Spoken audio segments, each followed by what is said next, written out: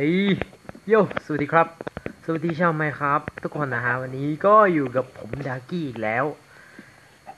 ใน map เอาชีวิตรอดในเกาะร้างกลางทะเลไอซ์แลนด์เซอร์ไวเวลเควสนะครับ ก็วันนี้เป็น part ที่ 10 แล้วนะฮะ ก็เป็น part สุดท้ายแล้วสำหรับซีรีส์นี้นะฮะ มีด้วยกัน 10 part นั่นเองนะฮะ อ่า ก็หลายๆคนก็รอคอยให้มันจบนะครับ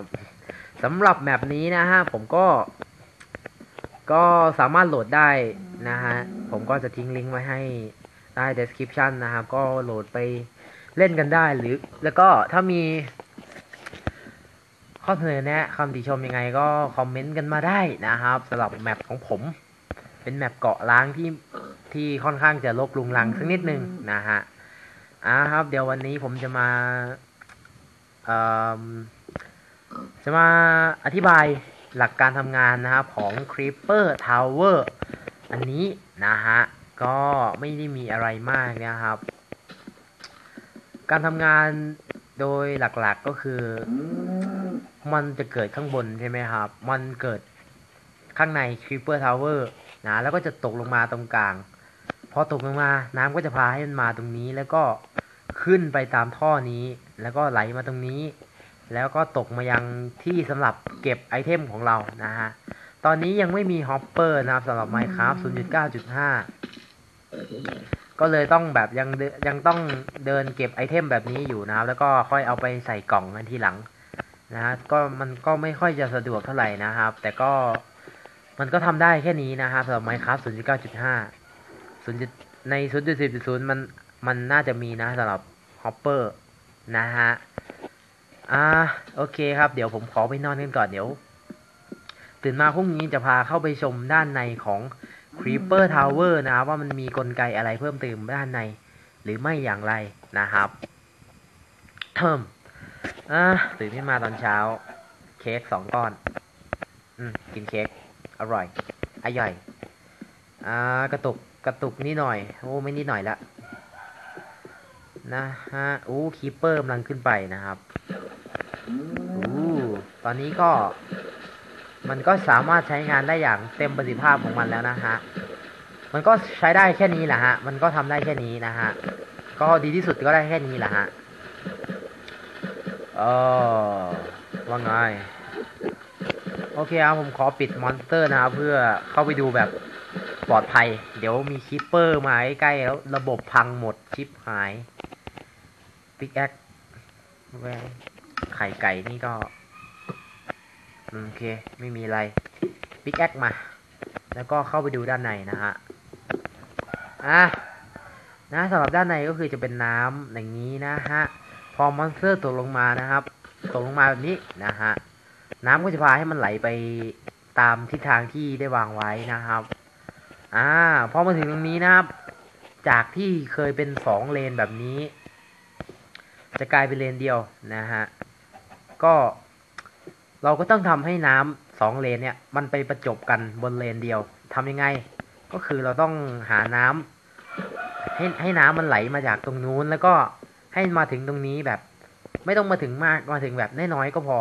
นะไปปลายน้ำมันก็จะทำให้น้ำมันเปลี่ยนเปลี่ยนทิศนะครับ ก็จะมารวมกันที่จุดนี้ ก็จะเป็นการเปลี่ยนเลนแบบอัตโนมัตินั่นเองนะครับ พอมอนมันมาเลนนี้ใช่ไหมครับ มาถึงตรงนี้ น้ำก็จะพาให้มันไหลมายังเลนนี้นะฮะก็เป็นหลักทฤษฎีง่าย ๆนะครับ แล้วก็อีกอันหนึ่งก็คือแมงมุม แมงมุมนี่จะเรื่องมากนิดนึงนะครับ เพราะแมงมุมมันแมงมุมมันอาจจะทำให้ระบบของเรามันอุดตันแล้วก็ error ได้นะครับ เราก็เลยต้องทำระบบฆ่ามันก่อนที่มันจะทำให้ระบบมัน error นะครับ ก็ไม่ยากครับ แมงมุมนี่มันจะมีสัญชาตญาณก็คือถ้ามัน ถ้ามันเจอทางตัน ถ้ามันไปไหนไม่ได้ หรือเจอทางที่เป็นบล็อกเดียวนะฮะคือ spider แมงมุมเนี่ยมันจะขนาดสองบล็อกใช่ไหมครับ ถ้ามันเจอบล็อกเดียวมันไปไม่ได้ใช่ไหมครับ มันเป็นทางตัน ถ้าแมงมุมเจอทางตัน มันจะไม่ไปต่อครับ มันจะขึ้นข้างบนนะฮะ ผมก็เลยทำระบบน้ำไว้ข้างบน พอมันขึ้นไปโดนน้ำใช่ไหมครับ มันก็โดนน้ำพัดไปให้โดนแคคตัสแล้วก็ก็ เท่านั้นแหละครับ ก็รู้เรื่องครับนะฮะถึงมันจะไม่ได้ใยแมงมุมก็ไม่เป็นไรอะมันไม่ได้สำคัญเลยมากสำหรับใยแมงมุมนะฮะอะโอเคครับ หลักการทำงานก็ประมาณนี้นะสำหรับ Keeper Tower ในเวอร์ชั่นผมนะครับ ก็ไปลองศึกษากันเอานะฮะโหลดแมปไปแล้วก็ไปศึกษากันเอานะครับ ศึกษาแล้วก็ไปทดลองทำนะฮะการศึกษาด้วยตัวเองแล้วก็ทดลองทำด้วยตัวเอง แล้วมันสำเร็จ มันจะจำได้นะครับ ทุกเรื่องทุกทุกเรื่องนะฮะไม่ว่าจะเป็นการเรียนถ้าเราศึกษาด้วยตัวเองแล้วเราสามารถเข้าใจมันได้ เราจะจดจำมันจนวันตายนะครับ โอเคครับสำหรับคลิปนี้ก็มีเพียงเท่านี้นะฮะแล้วก็ซีรีส์นี้ก็ขอจบไว้เพียงเท่านี้ เพราะไม่รู้จะทำอะไรแล้วนะฮะเควสเราก็เสร็จแล้วไม่ว่าจะเป็นการไปนรกการปลูกพืชให้ครบทุกชนิด การเลี้ยงสัตว์ครบทุกชนิด แล้วก็การสร้างบ้าน นะฮะก็ตอนนี้แล้วก็สร้าง creeper tower ที่ค้างคาไว้นะฮะก็เสร็จเป็นที่เรียบร้อย ก็ไม่น่าจะมีอะไรให้เราต้องทำแล้วก็ขอจบซีรีส์นี้แล้วกันนะครับ ก็ต้องขอขอบคุณทุกท่านนะครับที่ติดตามกันมาตั้งแต่ part ที่หนึ่งจนถึง part นี้ ก็ ไว้จะมีซีรีส์ดีๆ แบบนี้มาให้ได้ชมกันอีกแน่ ๆนะครับ จะเป็นซีรีส์อะไรนั้นก็ต้องติดตามกันนะคะ อ่าโอเคครับ ที่เมื่อวานไม่ลงคลิปเพราะว่าเมื่อวานเป็นไม่ว่าง ไม่ใช่ไม่ว่างหรอกฮะก็ ไม่ได้อยู่ในอารมณ์ที่อยากจะแคสเกมนะ เพราะเมื่อวานเป็นวันที่หวยออกนะครับ ทุยไม่ใช่เกรดออกนะแล้วก็หวยออกด้วยนั่นแหละนะฮะแต่หวยไม่ได้สำคัญหรอกครับ ผมไม่เคยจะถูกนะครับเพราะไม่เคยจะซื้อทุยไม่ซื้อมันจะถูกได้ไงล่ะ ก็ เป็นวันที่เกรดออกนะฮะ เป็นวันที่โรงเรียนได้ประกาศเกรด ผมก็เลยไม่เป็นอันจะแคสเกมนะครับ ก็ตื่นเต้นลุ้นนะครับ พอเกรดออกก็อืมก็โอเคอะเกรดก็ไม่ได้เยอะมาก แต่ก็มันไม่ลดอะนะฮะ แถมมันยังเพิ่มด้วย มันก็ก็โอเครู้สึกดีครับ วันนี้ก็มาแคสเกมแบบมีความสุขไม่ต้องกังวลอะไรมากมายนะฮะ ก็เกรดที่ผมได้ก็สามจุดแปดนะครับสามจุดแปดแปด นะฮะ ก็ไม่ได้ใช่เกรดที่มากเท่าไหร่ ห้องผมนี่มันสี่จุดศูนย์ศูนย์กันแปดคนนะพวกนี้มันเรียนกันยังไงวะ เรียนห้อง เรียนก็เรียนห้องเดียวกันมันเรียนกันยังไงสี่จุดศูนะ โอ้ ผมก็ เออ ได้ก็เอาไปสามจุดแปดก็พอแล้วครับผมเนี่ย ก็อยากก็พยายามไม่ให้เกรดลดนะครับ ก็ เราต้องรักษานะฮะ แล้วก็พัฒนาตัวเองไปเรื่อยๆนะครับ ก็โอเคครับ วันนี้ก็มีเพียงเท่านี้นะฮะ ก็ขอจบซีรีส์นี้อย่างเป็นทางการ แล้วมาเจอกันใหม่ในซีรีส์หน้า เออ มีอีกเรื่องหนึ่งนะครับ เอ่อ ก็มีกิจกรรมมาแนะนำนะครับ เป็นกิจกรรมของพี่ True Faster นะครับ ก็รู้จักกันไหมพี่ True Faster Minecraft พี่ True Faster MC รู้จักไหมครับ อ่า พี่ True Faster ก็เป็นเอ่อนักแคสเกม Minecraft นะครับ พี่เขาก็ เก่งนะครับพี่เขาเล่นเก่งนะฮะสำหรับเกม Minecraft ก็ พี่เขาจัดกิจกรรมฉลองห้าห้าหมื่นนะครับ subscribe ก็ขอแสดงความยินดีนะครับ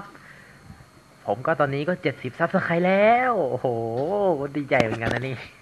ก็พี่เขาจะจัดกิจกรรมการเฟ้นหา caster นัก cast เกมหน้าใหม่ของเมืองไทยนะครับ ยิ่งใหญ่ ยิ่งใหญ่นะครับ ก็ พี่เขาก็ จัดการคือพี่เขาจะเฟ้นหานะครับ ผู้ที่เป็นนักแคสเกมนะครับ ก็พี่เขามีกฎกติกาว่าให้ตั้งช anel ของตัวเองนะครับ โดย เป็นช anel ของตัวเองนะครับทำคลิปอะไรก็ได้ที่เกี่ยวกับ Minecraft นะ ไม่ว่าจะเป็นเล่นแบบ Let's Play เล่น Survival Hardcore หรือทำอะไรสร้างสรรค์เกี่ยวกับในเกม Minecraft หรือทำอะไรก็ได้ที่เกี่ยวกับ Minecraft ทำ MV Music Video ทำ Parody ทำ AV ไม่เออไม่ใช่ AV ไม่เกี่ยวนะครับ AV ก็ทำพวกอ่าทำแอนิเมชัน Minecraft ทำหนังสั้นทำหนังตลก Minecraft อะไรก็ได้นะที่เกี่ยวกับ Minecraft นะฮะก็รางวัลสำหรับผู้ ชนะก็คือ ID ID Minecraft ไอเป็น ID แท้นะครับ พี่เขาจะให้สำหรับผู้ชนะนะครับ ก็ใครรที่สนใจนะ อยากได้ ID แท้ไหมครับก็ลองไปเอมลองไปลองทำกันได้นะครับ ก็ไปดูกติกาเพิ่มเติมได้ที่แฟนเพจ Too Faster นะครับ เดี๋ยวผมเอาชื่อให้ Too Fast Too Fast S T E R M C นะครับแฟนเพจนะครับ Too Faster M C เขียนถูกไหมวะนี่ยถูกแล้วถูกแล้วนะฮะก็หรือไม่ก็ทางช anel นะครับพี่ Too Faster นะครับ ก็เดี๋ยวจะทิ้งลิงก์แฟนเพจแล้วก็ลิงก์ช anel ของพี่ไว้ให้นะครับ ก็คือ พี่เขาจะว่าอะไรเราไม่เนี่ยเรามาโปรโมทให้เขาเนี่ย ถามว่าผมสนใจไหมสำหรับกิจกรรมนี้ ผมก็สนใจนะฮะ แต่ว่า ID Minecraft มันต้องเล่นใน PC ใช่ไหมครับ มันต้องเล่นในคอม ผมไม่มีคอมไง เออ ให้พี่เขาแจกคอมดิ แจกคอมแล้วค่อยแจก ID